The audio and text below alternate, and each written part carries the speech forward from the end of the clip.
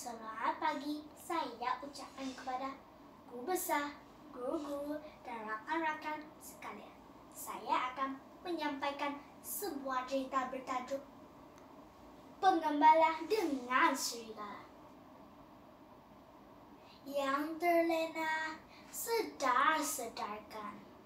Yang tersedar, dengar-dengarkan. Yang terdengar,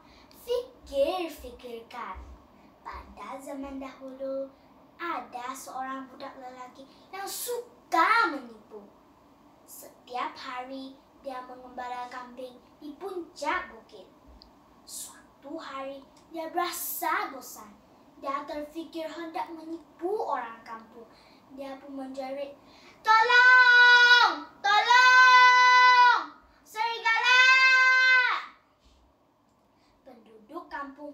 Terdengar cerita lalu membawa senjata untuk membantu. Apabila mereka sampai di bukit, budak itu terus ketawa terbahak-bahak.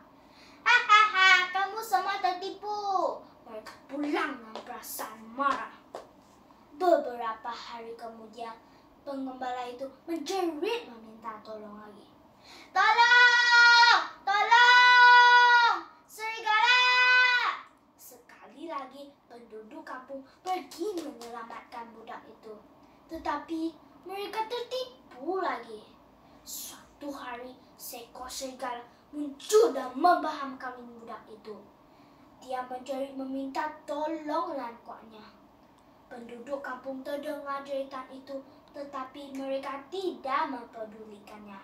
Akhirnya, semua kambing pengembala itu habis dimakan oleh serigala. Dia sangat menyesal di atas perbuatannya dahulu.